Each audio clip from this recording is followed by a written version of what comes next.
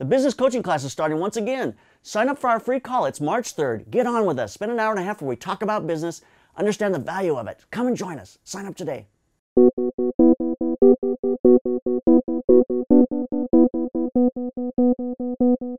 Hi, this is JP Morgan. Today on the Slanted Lens, I've got Pye here from SLR Lounge, fabulous wedding photographer, and I thought it would be interesting to ask him the question what do you think of what Vogue said, saying you do not need a wedding photographer?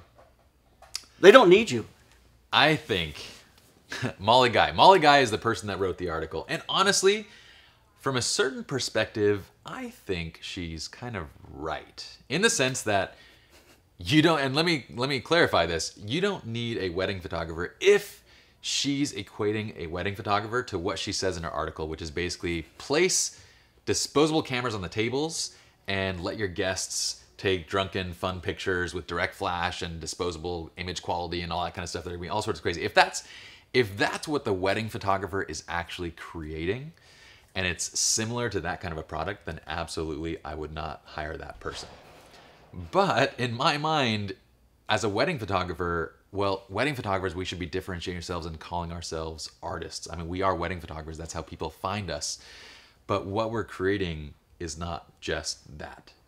And by the way, you might enjoy this. I actually went and read the article, so there's a lot of talk about this. So this is the article from yeah the Vogue article From Vogue, yeah. And so Molly Guy wrote this, and we all know the reason that you write these kind of articles is to get views. It's get people to come to your page. I mean, it's obvious. Vogue. Who is Vogue anyway? I mean, is it a magazine? I don't have a subscription. Oh, The- okay. The article No. is titled 10 Things That You Don't Need. Vogue subscription. I've been okay with that one so far. I mean, number eleven. We're just kidding. yeah. But absolutely. anyway, everyone needs a Vogue subscription. Obviously, yeah. not. We don't have one. okay, so Molly Guy wrote this article, and it's it's obviously designed to get views. I mean, it had 220 comments on it. Yeah. It's been shared everywhere. It it did what it was supposed to do, and if you compare it to other Vogue articles, oh my gosh, it has obliterated them in terms of views and traffic. Well, all of a sudden, everyone's talking about Vogue again. You know, which is They do have nice pictures. oh, they do. There's no doubt about it. Great photography. And I'm sure they come off of drunken tables with disposable cameras. Actually. Every commercial shoot, they just give a bunch of cameras out to the crew and a bunch of uh, liquor, and just see what comes out. it's why we have such a hard time recreating their look. It's really hard to do.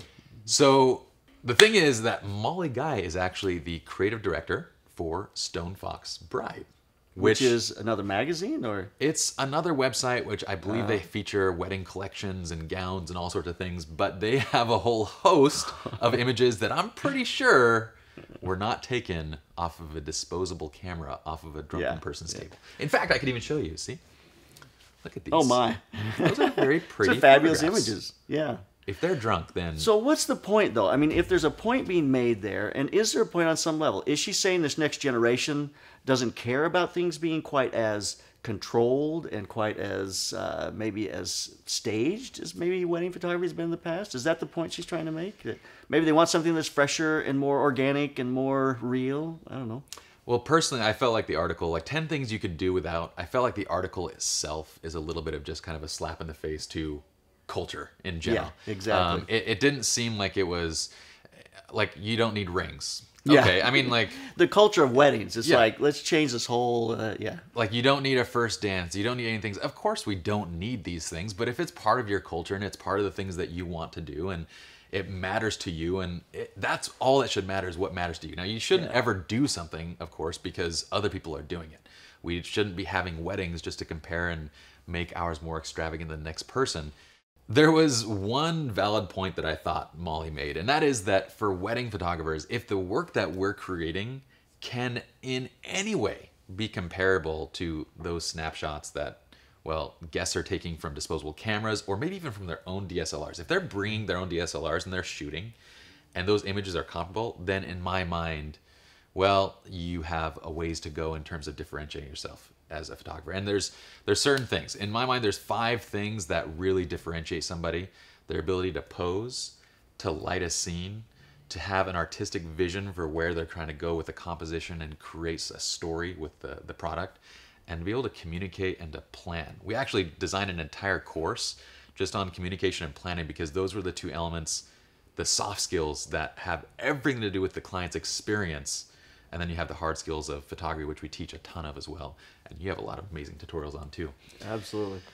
Well, you know, it's it's interesting in this process because I think what we've done is we've gone from I came from an era where everything was controlled and very very uh, staged, and then we went into that era where it was just not staged. It was very organic. It was very just whatever.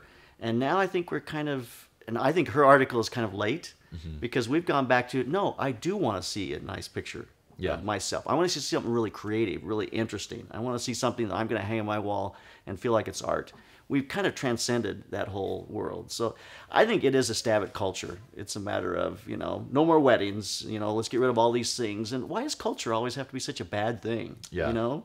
Why is that? I mean, I think it's a good thing, you know, that we have some place that we've been and some place that we're going to go. I think it's a foundation for people. I think it's a positive thing. So Yeah, the article's been a great conversational It piece. has, That's no for sure. about it. So it's done that. I'm hoping that the Vogue readers know the difference between good photography versus not having it. my question for those, uh, for the lady who posted it was, did she have a wedding photographer? That is a very good question. I think in the article, I'm not sure if she, I believe she's not married. Ah, Either oh no, there was there was actually like speculation, like people on the interwebs were saying like uh, she's probably been married so many times. And anyway, stuff that we don't really need to talk about. Exactly. But um, there was speculation on it, but I don't think it actually stated it there. Yeah. Well, I think your point is fabulous. I mean, if you have someone who really is going to create art and create an experience there and help that day be a positive. I have pictures from my wedding. My father was a, a, a shot for National Geographic, shot bighorn sheep, and he did my wedding. Okay. So he had a strobe that kind of worked. And so half the picture is lit, the other half is not. It's all done on transparencies. I have terrible pictures from my wedding. Should I have hired a photographer? Yes. It's funny you mentioned that. I wish so bad that we had a decent shot of our wedding. Well, know? and see, we made the classic. I, I've been married for almost 14 years now, and we made the classic mistake of when we got married, we went the budget route. We spent like a thousand bucks to hire the cheapest person we could find, and every one of our photos are absolutely terrible. Yeah. And so, of course, we didn't get into this until like seven years ago. So this is five years after the fact. I'm like, maybe I should do this for a living. But uh, I don't have good pictures myself, my wife and I. And it's one of those things that we look back on, and it's one of our biggest regrets. We could have s- spent money there, saved it in other places, and actually had something to show our kids that we were proud of. Whereas I have pictures with me and like my wife with bubbles in the background. That's what I have. bubbles, blue bubbles. now I kind of want to see that actually.